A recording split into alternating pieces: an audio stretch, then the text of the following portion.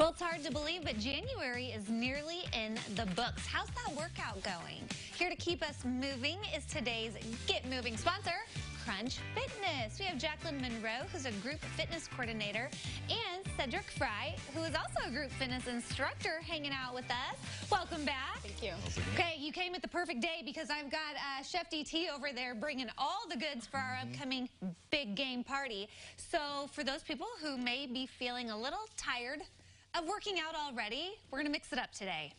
Tell me about this workout you've got going on at, at Crunch Fitness. All right, so today I brought in some TRX straps.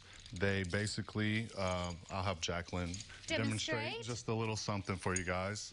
So basically, these straps will be locked into something like much higher than you are, and you'll be able to pull the straps out nice and tight, and you'll feel like you can just pull yourself like Spider-Man.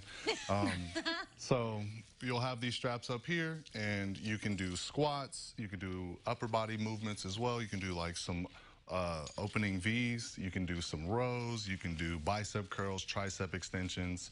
Literally almost any exercise you think you can think of, we can do it with the TRX Now, well. I remember the last time you were here, you were talking about your classes kind of being categorized b- between the different areas of the body that you want to work on. Right. So where does this one fit in that group? This is a total body. Absolutely. You can work anything from your core to your arms, your legs, your calves, Okay. Yeah. shoulders. So like a, for my class, I like to rotate upper body, lower body, upper body, lower body. And then at the end of the workout, I have like a core segment set up. So you get upper body, lower body, and then you do some core exercises as well. And this is just one of the many classes that you have offered there at Crunch Fitness. Also one for people who may like the treadmill. Absolutely. So we have a class called Tread and Shed. It takes place on the treadmill. It gives like a roller coaster effect. People are running. We have walkers. You can do many things in there. We use the incline and the speed to change the resistance and um, the impact on the workout. And people come and have a lot of fun. So I know a lot of people tend to, you know, jump on that fitness, you know, bandwagon there come January 1. Does it start to taper off now that we're kind of wrapping up January or are things still going strong? Things are still very strong. Yesterday I was teaching and I had two classes that were over uh, overfilled. Yeah.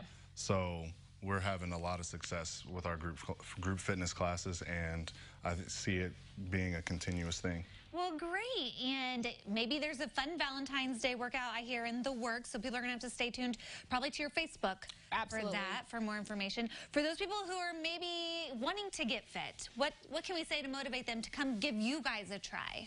Um, well, we're doing a free week, so if people want to come in and they want to talk about getting involved, we can um, give them a free week free. They just talk to the GM, and we can go from there. They can try fitness classes and see what works best for them. And there's a fitness class really for anyone and everyone. Anyone and everyone.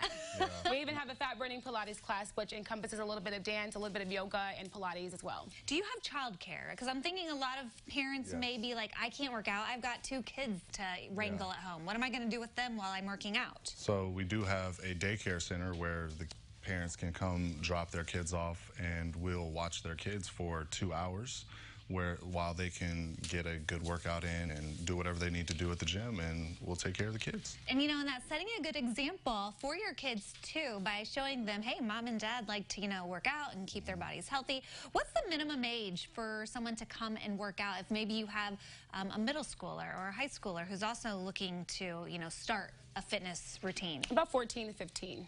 Okay, and they can come and try it out as well. And Yeah, they wouldn't have their parents there if they're younger, and then as they get older, they can utilize the facility. all right, and maybe TRX is um, the class for them. Yeah, they can come through anytime. Okay, well, I bet the classes there that um, you lead are super fun and um, a good time, and we appreciate you all coming. Thank you so much. All right, if you need any more information about the TRX class or the Tread and Shed, Yes. Tread and Shed, head to CILiving.tv. We'll have it posted for you there.